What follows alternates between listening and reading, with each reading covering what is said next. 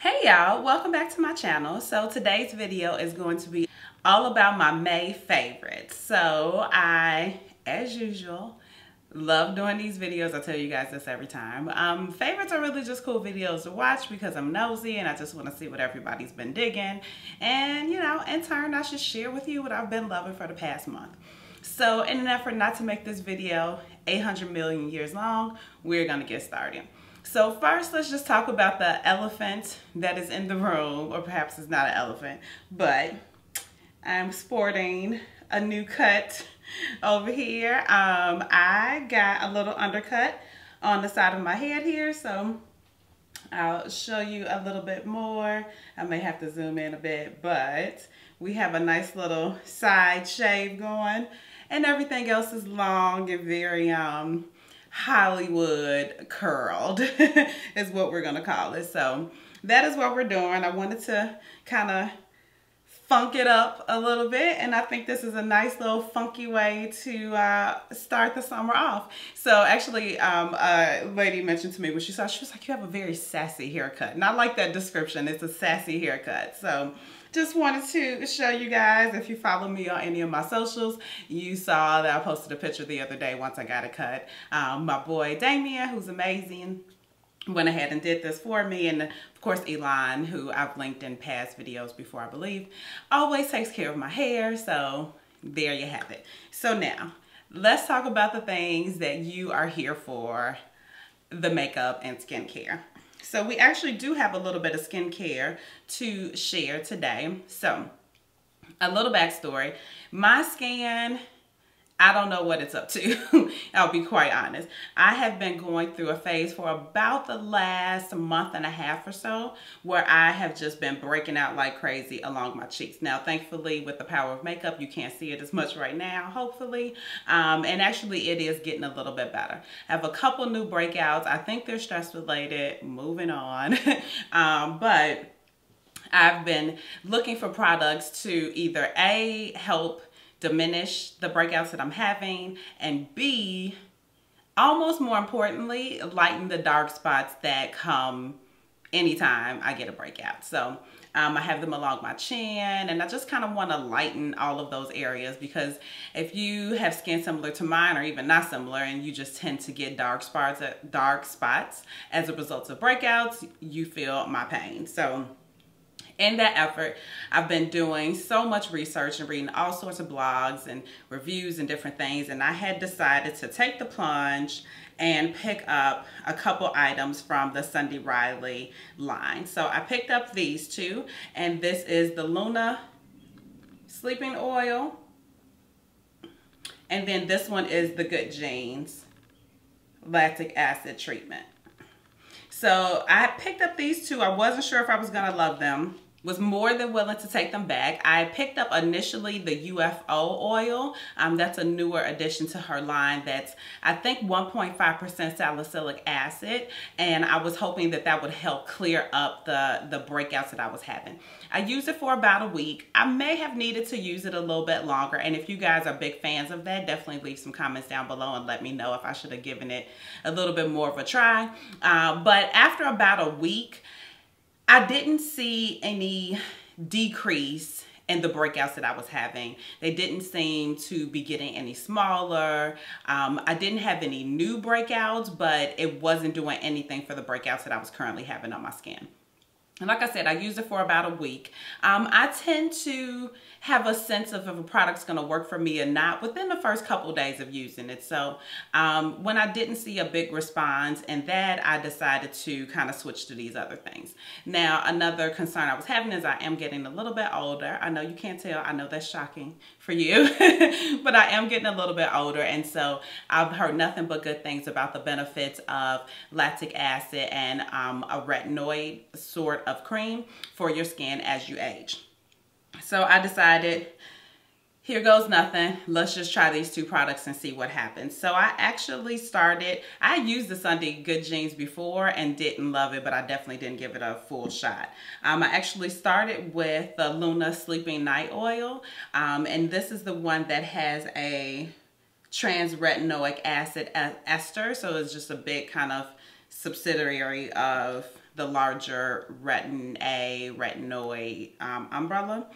And so I tried this first. I did notice that when I woke up in the morning that my skin did look a little brighter, a little more supple. Um, it's kind of hard to explain what I was noticing in my skin. Um, more importantly, with the combination of these two, I did notice that while it didn't um, inhibit the breakouts that I was having, I did have a couple more peek through um, in the interim, but that was right around um, that time of the month as well. So who knows what was going on in my body. but I did notice with the combination of these two that my skin did look lighter, brighter, more supple. Um, and in particular with this one, I was noticing some subtle fading of the dark spots on my skin. And that was within a couple days of using this. So as I mentioned, I started with this one. I went in with this one for a full week before I added anything else just to be sure that I wouldn't have any reactions to it. And then I went ahead and added the Good Genes. Um, the suggestion is that you use them together. You put Luna on first, let it soak into the skin, and then put on Good Genes. And so with these two um, in combination, I don't use an additional moisturizer. This is plenty moisture for my skin at night. Um, and when I wake up in the morning, I do feel as though, like I said, there's some fading. It, my skin does appear brighter um, and those kind of things. So I have seen enough of a result to continue using it. Now the combination together I've only been using for about two weeks. Um, there was a period where I didn't use the Luna and I just used the Good Genes, especially right, right around my breakout time to see if it would help facilitate getting through those um, breakouts. Um, and they did appear a little bit smaller, but it wasn't like some dramatic event as far as my acne is concerned. Um, but when I did stop using this one for a couple days to only use this one, I did notice a different a difference in my skin. So I really do appreciate the combination together um, and they have been working out really well for me. So there is a comment on both of these products that you can experience some purging of the skin. Um, in other words, as the lactic acid is working through your skin and kind of revealing this layer, if there are some um, areas of your skin that I have pore clogs or things like that, that will come to the surface quicker. So you will have more breakouts. So the product directions say. So I could be just experiencing that because um, again, it's only been two weeks that I've been using these together. So we may just be going through a purge right now. So we'll see. But I've seen enough changes and benefits in my skin and more importantly, no reactions um, to the products that I will continue to use them. So as I mentioned, it's only been about two weeks, but I do intend to continue to use them and I will update you and let you know how things are going. But so far so good, I absolutely love it. So that is the Sunday Riley Good Genes and Luna Sleeping Night Oil. Very, very expensive products, but very worth the price, I do believe. So that is the skincare. So let's move on to a little bit more skincare hybrid makeup situations. And I will be referring to the Melanie Mills Hollywood Body Gleam Radiance Gleam Body Radiance creams. So I have two of them here. I have one in Deep Gold and then I have one in Rose Gold. I have a tiny one in Rose Gold. So I picked these up because I was really interested. I actually got them last summer and I don't think I really used it that much.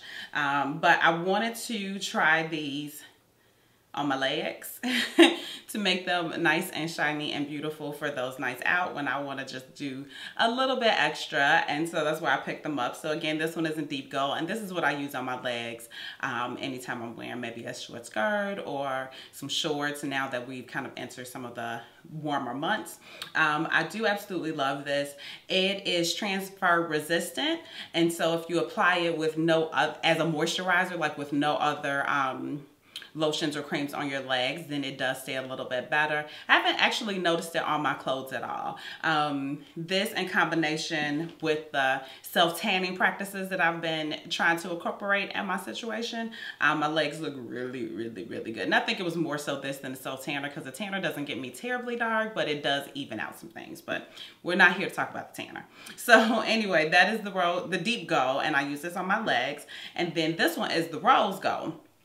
So the Rose Gold I've been using with the buffer brush um, as a base and primer for my makeup. And so as of late, like I have a full beat happening right now but usually in my everyday like after this is over i'm probably just gonna wash my face and just do what i do every day when i go out a little later because it's so hot here in chicago today um, but as a base i would use this as a primer and it just gives a nice overall glow to the skin i'll put a little bit on my hand and show you so perhaps you can see there it just adds a very glowy finish to the skin nothing too crazy, but it does serve to make you look very, very, very glowy.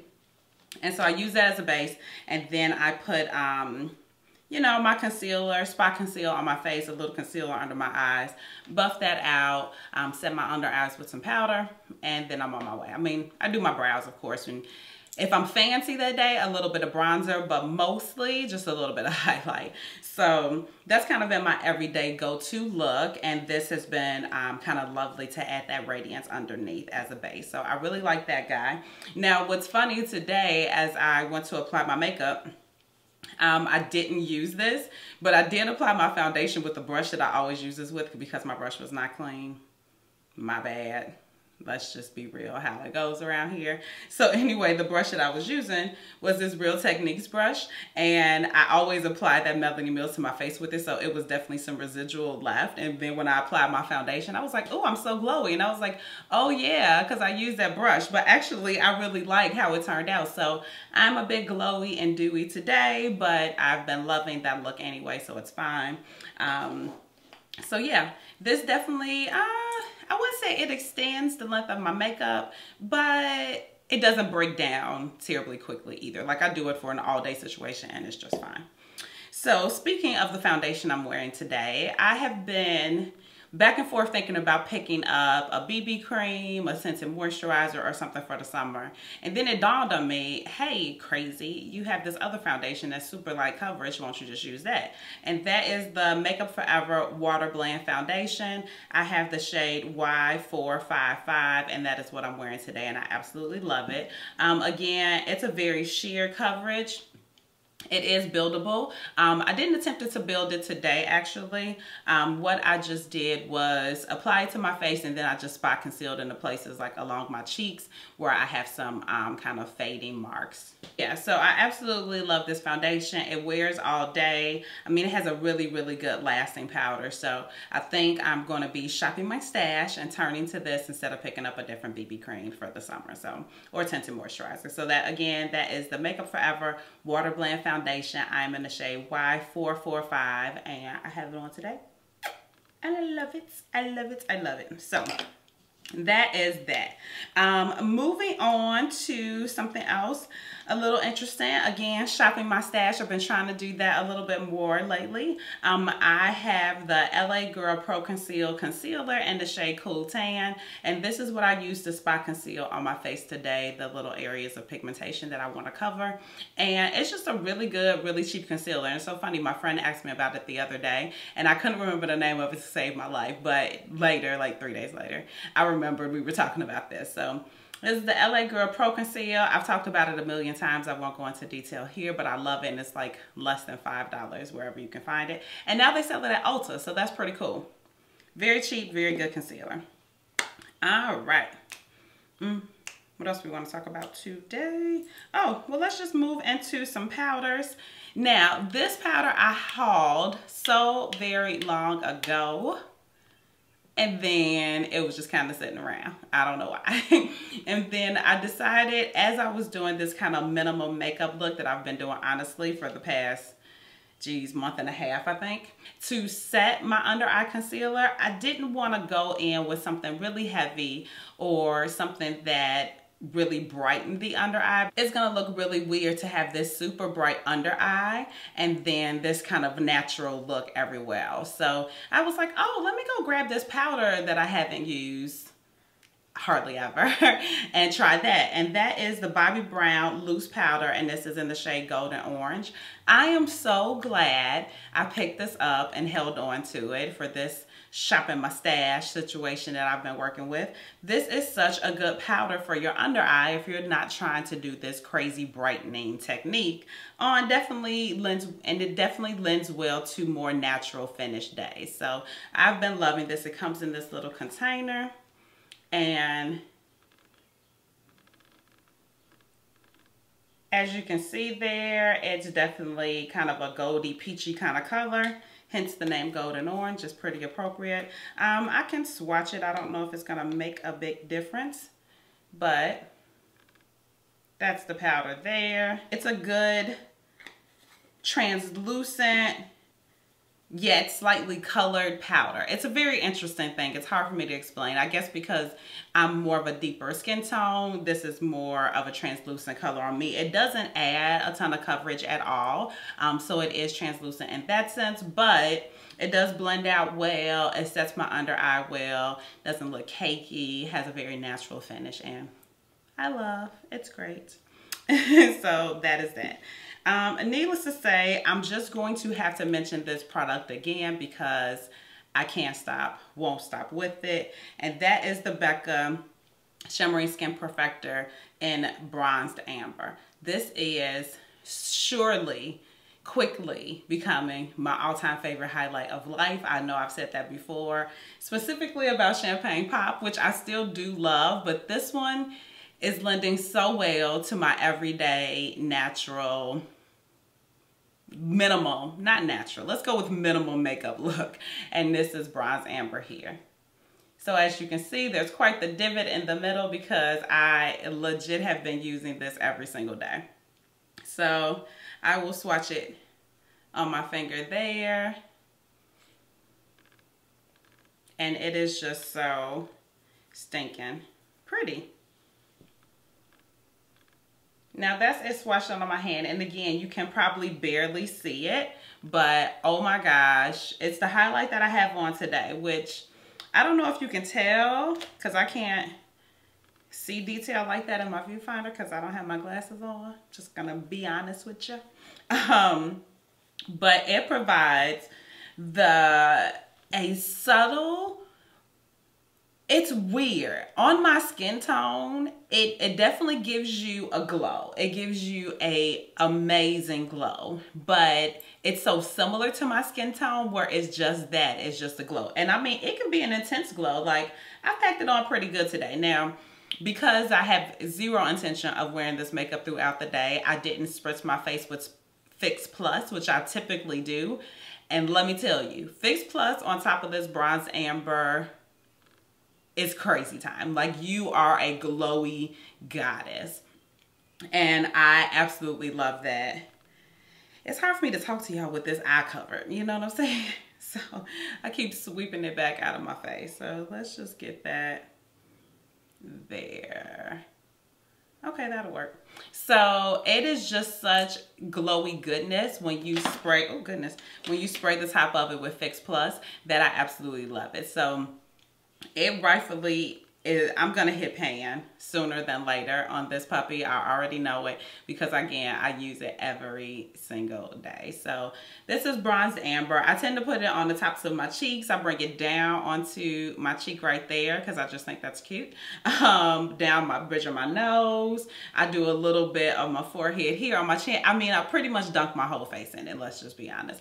But, you know, that is how I feel about this puppy. I love it so hard. It goes, let's put it put it close to the heart because we love it so much. So that is the Bronzed Amber Shimmery Skin Perfector from Becca Cosmetics. So we got two more products. They are both lip products and then we're going to be done with this video and number one we might as well talk about it is what I'm wearing today this is the Charlotte Tilbury color and the shade Pillow Talk it is so, so pretty. And I've talked about this before in the favorites. It doesn't look on my face today as pink as it is in the swatch, and that's on purpose because I did line my lips with Cork from MAC just to subdue the color a little bit. I didn't want a super pink look with this with this smoky eye. I wanted something a little more neutral. So this combination is what I have on my lips today and I absolutely love it. This lipstick feels so good. Um, it does have a slightly matte finish. Definitely not a shimmery finish. Definitely not a completely matte finish, but just a slightly matte finish. And I absolutely love it. It, it wears pretty well, but I mean, it's a lipstick, so you do need to reapply. But honestly, it feels so good that I don't mind reapplying it. And the packaging is so stinking cute. I mean, Charlotte Tilbury kills it with the packaging. Look at that rose gold gorgeousness. I absolutely love to just, bam, whip this out and then have my little compact. I'm like, you know, all fancy. so I do love this guy. I've talked about it before, but I wanted to mention again because I've been wearing it a ton this past month. One of my favorite pinks is Michiyo from NARS. It's one of um, the lipsticks in the Audacious line. But I've really been looking for a liquid lip um, that is as bright and beautiful as that one because that's actually just a regular lipstick. Um, so I have turned to the good old ColourPop and this is the Ultra Satin Lip Color and the color Mr. I'm sorry, in the color The Rabbit, not Mr. Rabbit. And so it is a super vibrant pink. Uh, with almost a blue shift. And it is so pretty on. Look at that pink. It is absolutely gorgeous. Like this is what I've been wearing so often. Oh my God, it's so pretty. The most amazing part about this is it is only $6 and the Ultra Satin Liquid Lipstick formula is definitely one of my favorites. It goes on very comfortably and it doesn't dry matte, but it does dry down a little bit and that little bit of dry down definitely provides a longer wear with this lipstick. So I, I really, really like it. So I definitely don't have to reapply it a ton, but definitely after eating and stuff like that, I will go ahead and reapply it. So that is from ColourPop and it's called The Rabbit. Other than that, I think that's about it. Now, we could mention the high keys that just recently launched, but I just did a whole video on those. So I will definitely link those here shortly. But other for, for beauty, these have been my favorites for the month. But as always, I love you guys so much. Thank you so much for watching. I really do appreciate it. And if you haven't seen my most recent video where I talked about those Quay sunglasses, I will definitely leave that guy here um, just kind of floating in the air. And if you haven't subscribed already, definitely do so on the way out. I really hope you will. We are so close to a thousand, so let's go ahead and get us there. So I'll add a little icon here that will help you subscribe just a little bit quicker. As always, I love you guys and I'll see you in the next video. Bye.